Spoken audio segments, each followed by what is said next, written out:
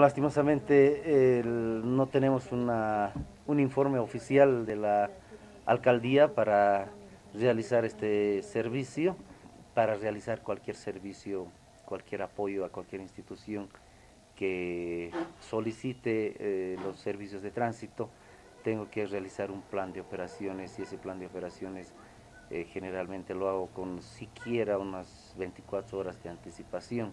Me perjudica demasiado porque yo debo hacer que mi personal se encuentre en los lugares más conflictivos de circulación de la ciudad del Alto. Entonces, si, alguna otra institución eh, toma unos puntos donde no tengo personal eh, dislocado en el lugar, eh, bueno, me crea problemas en el, en el tráfico. Bueno, pero si no tengo la información necesaria, es ahí donde estoy fallando por otras personas.